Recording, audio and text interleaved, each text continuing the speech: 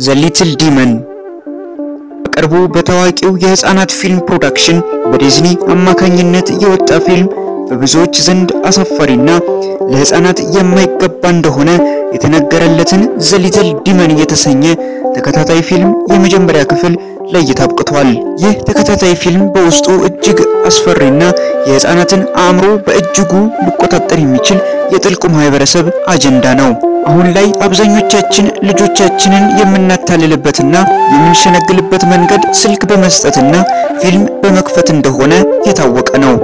ነገር ግን ለልጆቻችን ለጥቂት ጊዜ ማሳለፊያ የሰጠናቸው ፊልምና ስልክ የልጆቻችንን ህይወት እያበላሸው እንደሆነ መገንዘብ አልቻልንም። ብዙውን ጊዜ በእድሜ የገፉ ሰዎች የዚህ ዘመን ህፃናት እንደ ድሮዎቹ አይደሉም የሚሉት በምክንያት ነው። ይኸውም አሁን ያሉት ህፃናት ሙሉ በሙሉ ማለት በሚቻል መልኩ ሳይፈልጉ በአእምሮ ቁጥጥር ሰለባ ሆነዋል።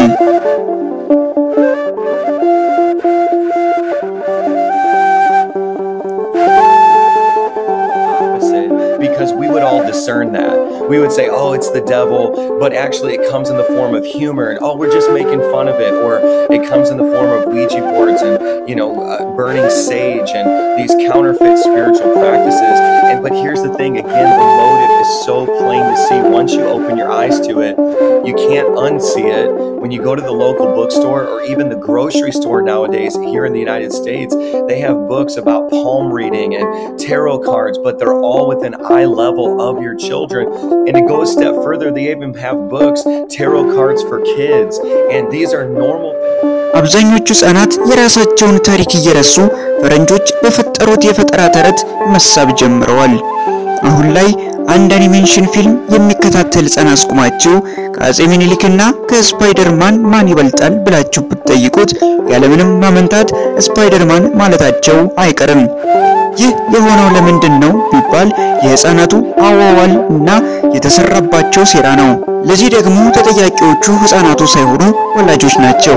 ምክንያቱም ወላጅ ማለት ለልጁ የሚስማማውን የሚያደርግ ተንከባካቢና አሳዳጊ ማለት ስለሆነ ነው። ኢሉሚናቲዎች The Little Demon በተሰኘው ፊልም ላይ ሙሉ ለሙሉ ስለ አዲሱ ዓለም ስርዓት ለህፃናት በፌዝና በቀልድ መልክ ይናገራሉ። የሚገርመው ደግሞ ቃል በቃል የፊልሙ ዋና ገጸ ባህሪያት ስማቸው እጅግ አስፈሪና ለተልእኮ የተሰጠ እንደሆነ ያስታውቃል።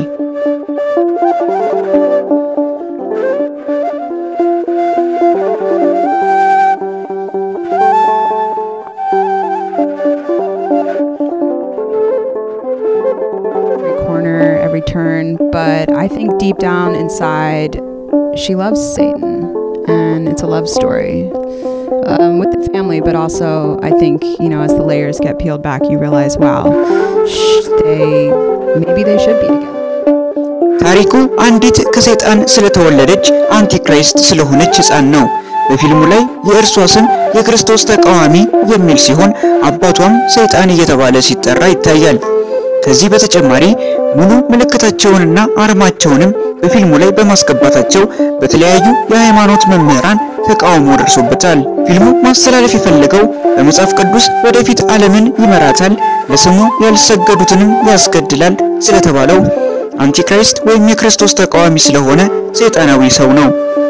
አሁን ላይ ኢሉሚናቲዎች እየሰሩ ያሉትም ዓለምን ወደ አንድ በማምጣት ለዚህ ሰይጣን ለማስገዛት እና ለማሰገድ ነው። ለዚህ ደግሞ መጪው ትውልድ እጅግ አስፈላጊ በመሆኑ ሕፃናት ላይ ለመስራት ቆርጠው ተነስተዋል። ስለዚህ ልጆቻችንን ከቴሌቪዥን ከስልክና መሰል ነገሮች ልናርቅ ይገባል።